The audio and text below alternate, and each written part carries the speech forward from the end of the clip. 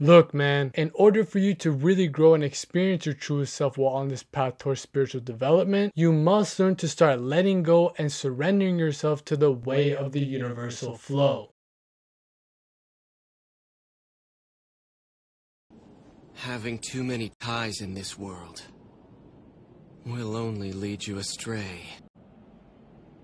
It weakens one's ambition distracts you from what truly matters.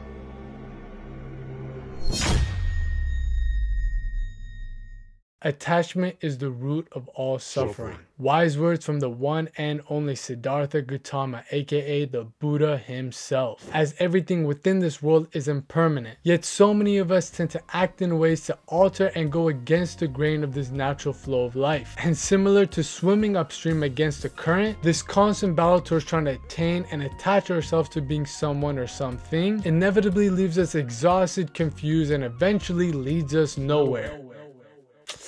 But fear not, my friends, because this is where the art of detachment comes into play. A universal concept from some of the greatest philosophers, religious leaders, and spiritual teachers of human history, yet one that is also commonly misinterpreted and misunderstood. So to break it down real quick like a brick for y'all in simple terms, the art of detachment is not the idea that you own nothing and you just don't do anything all day, but rather it's the inner wisdom knowing that nothing owns you. Because true detachment is not not about separating yourself from life, but it's about attaining absolute freedom from within to experience and explore it all. Have a mind that is open to everything and attached to nothing.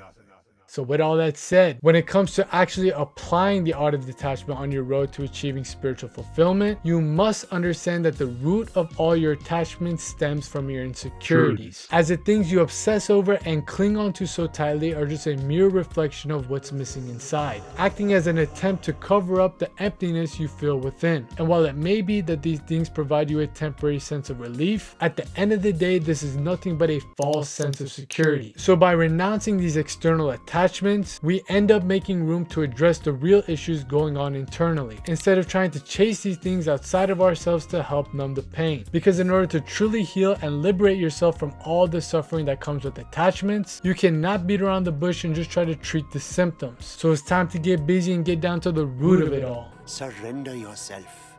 Okay, I'll try.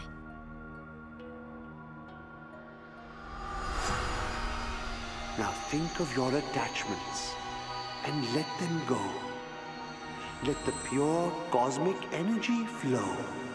Now, this concept of learning how to become more involved with life and less attached to it is something that we all must learn to practice and develop on over time. Because detachment is not a physical act, but rather a state of mind. So don't get it twisted, man. We ain't about to just go and give up on everything in life and just throw it all away. But what we is gonna do is start to act without worrying about the results as we immerse ourselves fully into the present moment of whatever it is that we're trying to pursue, while at the same time trust trusting the process of the universal order of life and accepting whatever it is that reality throws our way. Because the very moment we start to detach from our external interests and start grounding ourselves more on our internal intentions, the more we open up ourselves to the mm-hmm. unknown, where the possibilities are endless and our potential has no limits. So just let go of the idea of how you think things should be, because the universe is never wrong and uncertainty is the only way forward. So instead of fighting against it, why not just learn how to flow with it? Stop trying to play God and learn to sit back and enjoy all the ups and downs and twists and turns on this roller coaster ride that we call life. So control what you can and just keep on moving, bro. Because your job is to set an intention and put in the work. So just leave the rest up to the universe, man, because you ain't got the sauce like that. You're not that guy, pal. Trust me.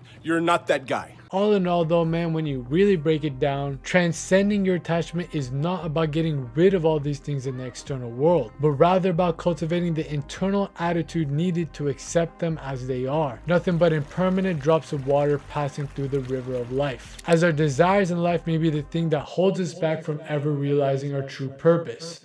But on the flip side can also be the same thing that gives us the power needed to reach face to face with our highest self. As we either remain ignorant and attached to the things that are temporary and impermanent, or learn to transcend it to what is eternal. Come on, man, the devil's in the details. So, with all that said, man, it's time for you to break free from this prison of misery and suffering that you've built off the back of your attachments. Because to keep it simple, at the end of the day, if you ain't got nothing to cling on to, then man, that means you get to play the game of life with nothing to lose.